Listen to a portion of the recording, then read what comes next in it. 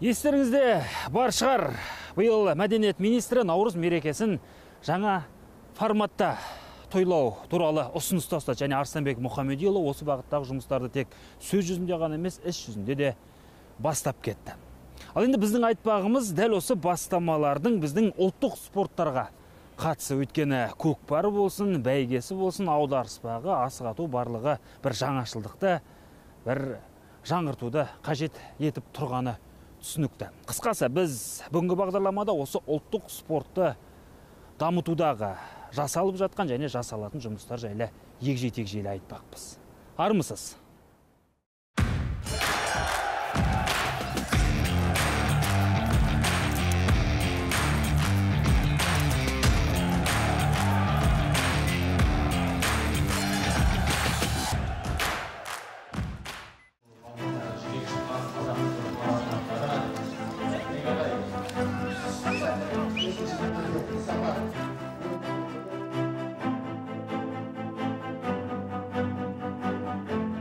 Әңгімемізді көкпардан бастайық.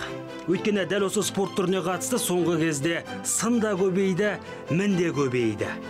Тіпті оны құрдымға кеттіге санап қолды бір сілтейтіндер де кездеседі. Осыған байланысты жауапта қауымдастыққа шығып көрдік. Бақсақ ол жақтағылар бұйырғаны болар деп жайбарақат отырған жоқ. Ұлттық спортымызды халықаралық деңгейге көтерудің қамымен жүр. Атап айтсақ жуырда ғана бүкіл әлемдік көкпар қауымдастығының жиынын өткізіп нақты ережелерін бекітті.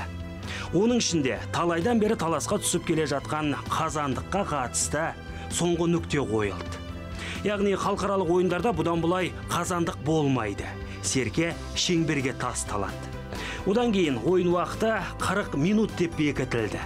Яғни командалар 20 минуттан тұратын екі кезең ғана ойнайды.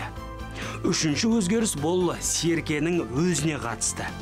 Яғни халықаралық ойындарда енді тірі жануар сойылмайды. Оның орнын арнайы муляж алмастырады. Міне ең негізгі жаңашылдық осылар. Сырттай қарағанда қай қайсы да белгілі бір деңгейде шектеу кедергі тіпті қорлық та сияқты көрінуі мүмкін. Бірақ ұлттық ойынымызды төрткүл дүниеге танытамыз десек онсыз болмайды дейді мамандар. Көкпарды халықаралық деңгейге шығарамыз десек оның халықаралық бір стандарттарға халықаралық ережеге талаптарға сәйкес келуі маңызды. Бұл дәстүр ретінде біз серкемен ойнай беруіміз мүмкін. Кәдімгі ауыл арасында елшілік чемпионаттарда дегенмен халықаралық жарыстарда осындай бір қадам жасау керек. Егер біз спортты тек қана қазақ пен қырғыздың ортасында немесе ауыл аймақта ғана ойнамаймыз бұны еуропада басқа елдерде жаңағы көрсетеміз таратамыз десек.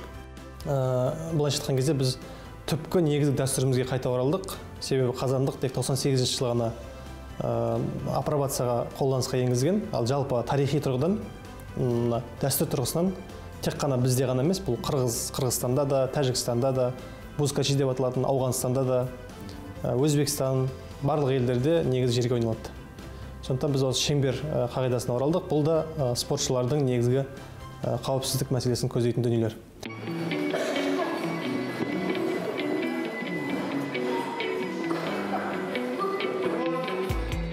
Көкпардың жағдайы түсінікті. Дәл осылай әлемдік деңгейге көтеруге көп күш салынып жатқан ұлттық спортымыздың бірі қазақ күресі. Одан да қазір халықаралық құрлықтық тіпті әлемдік чемпионаттар жиі өтіп тұрады. Бірақ оның басқасында жүргендер мүлде басқаша бағытты таңдап отыр. Яғни ұлттық күресімізді шетелдерден бұрын өз елімізде нықтап бір жолға қойғысы келеді. Оның ішінде әр ауыл аймақ пен шалғай жатқан елді мекендерде жаппай күрес секцияларын ашып мыңдаған баланы спортқа баулуға кірісті. Тіпті қазір кей ауылдар өз ішіндегі барыстарын анықтап оған ерекше құрмет көрсететін болған. Ал аталған жарыстың арты кішігірім тойға ұласып жатыр. Сала мамандарының айтуынша дамудың міне дәл осы бағыты дұрысырақ өйткені өз жерінде нықтап тамыр жайған және бұқаралық деңгейде дүмпу әкелген спорттың әлемдік аренаға шығуы да әлдеқайда жеңіл болмақ.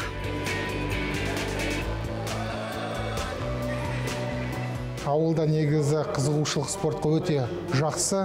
Өйткені оны біз дәстүр ретінде қазір үшінші жыл абылайхан барысын өткізіп жатырмыз. Өте көп халық жиналады. Отыратын тұратын жер де болмайды. Негізі немерелері шөберелері балалары қатысып негізі жақсы жақсы жетістіктерге жетіп жатыр. Ата ана деген ата ананың негізі қазір кезде балаға деген көңіл күйі балаға деген көмегі өте зор. Әрбір ә, сайыстарға негізі күрестен болсын дзюдодан болсын барлығына ата аналар қарқынды түрде қатысып жатыр. Балаларды және мектепті өте жақсы қолдап жатыр.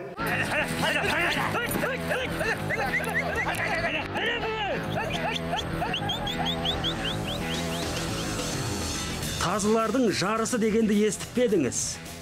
Ұлт спортының жанашырлары бертін келе осы бағытты да жандандыруға кірісті.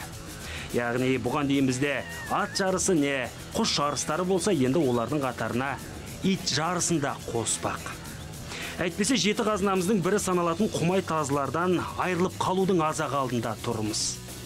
Әрине бұл жарыс әлі ресми спорт түрі ретінде танылған жоқ. Бірақ көрсетілімді үлгідегі бәсекелер жиі өтіп тұрады. Ол жерде алдымен нағыз құмай тазылар іріктеліп одан кейін бірнеше жас деңгейі бойынша сынға түседі. Қашықтық әртүрлі жарыс талабы да әрқалай енді сала мамандары осының барлығын жинақтап ережесін бекітіп ресми сайыстар тізіміне енгізгісі келеді. Бұған қоса бүркітшілер жарысы бар емес пе? Соған тазыны қосу ұсынысы да бар. Яғни аңға бүркіт пен тазы қатар шабады және олардың бірлескен қимылы есепке алынады. Иттер ол қазір былай қарағанда спорт түрі емес қой. Ол енді қазір көрме болып өткізіп жатыр бірақ бізге біз үшін ол да бір маңызды іс шара бүгін. Өйткені тазы төбет деген ол бізді ежелден келген біздің біздің бабаларымыз жанында жүрген иттер ғой. Соны дамыту ол да бір бір жақсы дұрыс нәрсе деп ойлаймын. Былай қарағанда үш төрт жыл бұрын асық ату деген түр шықты ғой. Ол да біздің бабаларымыздың ойыны ғой. Бірақ ереже болмай анандай андай мәселе болған. Бірақ қазір уже дамытып жатырмыз бізде мектепте де бөлім ашылды. Енді нәтижелері де жаман емес енді. Біз сондай инициативаны қабылдаймыз. Асық демекші. Асық ату биылдан бастап универсиада бағдарламасында бар. Яғни астанадағы спортқа жауапты басқарма мен бұқаралық шаралар өткізу дирекциясы осындай бастаманы қолға алды.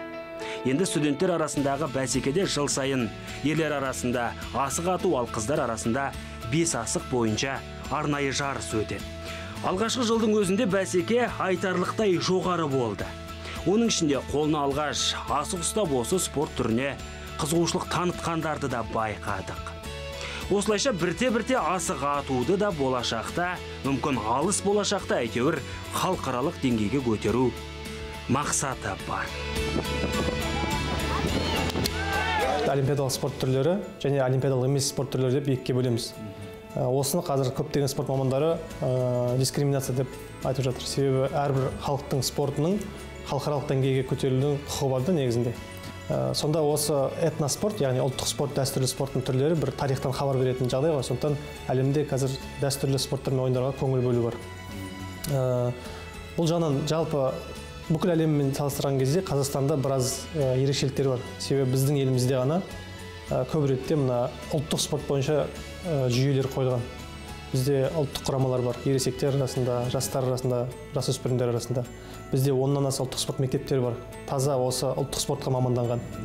Ә, бізде ә, спорт түрлеріне жаңағы атақтар дәрежелер беріледі. Иә расымен де қазір құсбегілер мен көкпаршылардың арасынан спорт шеберлерін тіпті халықаралық дәрежедегі спорт шеберлерін кездестіруге болады. Бұған қоса ұлттық спорт қауымдастығы былтыр бүкіл әлемдік этноспорт конфедерациясының толыққанды мүшесі атанды. Және ол ұлттық ойындарымызды халықаралық деңгейге көтеруге айтарлықтай серпін болары анық.